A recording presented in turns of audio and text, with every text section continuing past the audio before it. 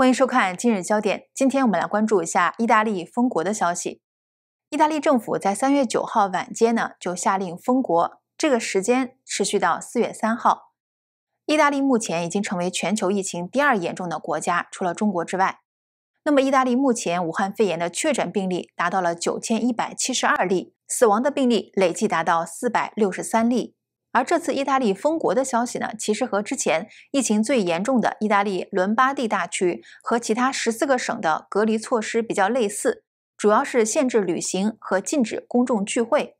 这公众聚会呢，包括关闭电影院、剧院、健身房、舞厅、酒吧，包括一些丧礼，还有就是婚礼以及其他的体育赛事。还有就是所有的学校和大学将关闭到四月三号。意大利总理孔特说。意大利全国有六千万人口，除了工作和紧急情况之外，不应该外出旅行。但是呢，意大利这个封闭呢还是比较宽松的，它是以公民自律为基础。如果你真的需要外出的话，可以在意大利的卫生部网站下载一份自主授权书，填写自己是因为工作、探亲、就医还是返家等等这些理由而需要出入城市。如果你填了这个表格之后，拿着它遇到警察盘问的时候，只要出具这份授权书就可以过关了。意大利的商店呢还可以营业，但是呢需要遵守人和人之间维持一米距离的规定。如果没有达到这个要求的小商店就必须要关闭了。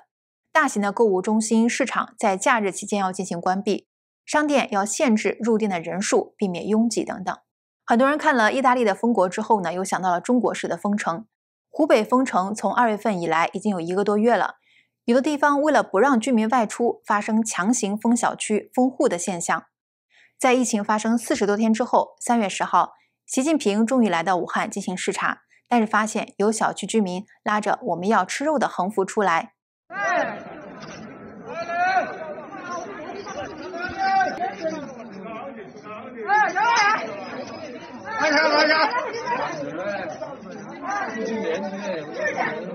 有人发推文说。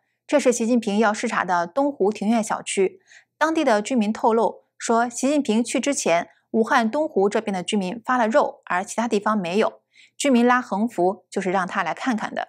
还有呢，之前发生过孙春兰视察的时候，居民喊出这一切都是假的这样的消息。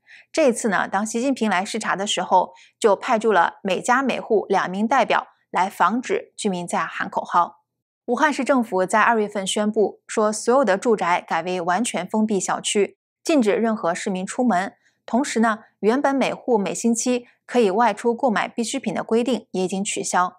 一些大中超市和商业门店只接受团购的顾客，不再对个人销售生活物资。有网民表示说，团购套餐价格太贵了，几块鸡肉就要两百块钱，真是明抢啊！也有人说，现在武汉物价太贵了。蔬菜随随便便就要上百，想买肉就是要五百往上走，水果也在蹭蹭蹭的往上涨价。不少外界人呢纷纷向武汉来捐献蔬菜，但是呢却被网民发现很多都被当局销毁，一些新鲜的蔬菜甚至肉类都被倒入垃圾桶，有的直接填埋。外界质疑说，为什么别人都吃不上菜，但是却把捐赠来的菜都倒掉呢？当地一名志愿者王先生接受亚洲自由电台采访时说。国难财就是这么来的，因为官方要保障国有、集体等超市供给充足。如果这些免费的物资发放到老百姓手里，那老百姓不去买东西了，不是冲击了利益集团的利益吗？武汉封城以来，发生了不少居民自杀的事件。三月三号，网上爆料，武汉汉阳黄金口小区又有一对老人因为封城被困到，他们也没有什么微信，没有吃的，于是呢，携手跳楼自杀。目前疫情在国际蔓延，但是作为疫情的发源地，中国却有很多地区依然零增长。分析认为，这是因为不同的体制造成了这样的结果。中共对待疫情的方式就是：第一步，先封住国内人的嘴，比如说像射杀李文亮等等这些吹哨人，如果你说了真话就被抓走，利用权力来封杀疫情。第二步就是对疫区实行半军管，完全的封锁，疫区内死了多少人，疫情如何，全由党说了算。任何声音都是谣言，会以各种罪名进行抓捕。第三步会开动宣传机器，国内国外进行洗地，媒体都信党，党指向哪里就指向哪里。不管武汉人亲眼看到多少灭门的悲剧，也不管视频上发了多少被丢弃在街边等待处理的尸体，也不管其他的各省殡葬队支持武汉帮忙处理尸体，但是武汉的死亡数字也就那么三千左右，甚至各地出现零增长。第四步，使用多年投资养成的友华人士唐赛德。利用唐赛德世卫组织总干事长的身份，在国际社会不厌其烦地为中共洗白。经过唐赛德颠倒黑白的粉饰，中共从疫情发展国成了抗疫的第一国。目前疫情在国际蔓延，最严重的是意大利、韩国、伊朗等国。那么外界对意大利爆发如此严重的疫情感到非常惊讶。分析认为，去年三月底，意大利和中共签署了一带一路的合作计划。成为 G 七啊，因为意大利是七大工业国组织之一，意大利成为这七个国家当中第一个也是唯一一个搭上中共“一带一路”的国家。有网友就跟帖说：“真是如愿以偿了，终于和共匪成为共同体。”也有网友嘲讽说：“意大利加入了‘一带一路’，这个‘疫’呢是指瘟疫的‘疫’啊。”评论人士张天亮认为，中共主张的人类命运共同体。实际上是想把世界人都绑在中共的列车上。武汉肺炎疫情爆发以来，有一个共性，就是亲共的国家和地区，这个疫情就特别严重，比如韩国、伊朗、意大利等国。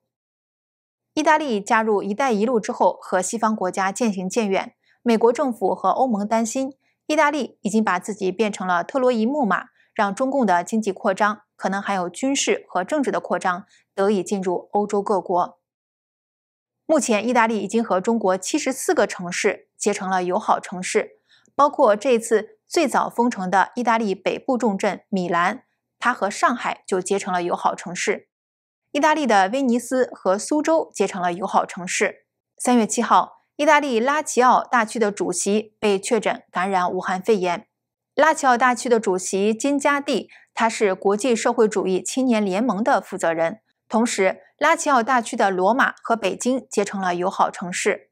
三月八号，意大利皮埃蒙特大区的主席西里奥也确认感染武汉肺炎。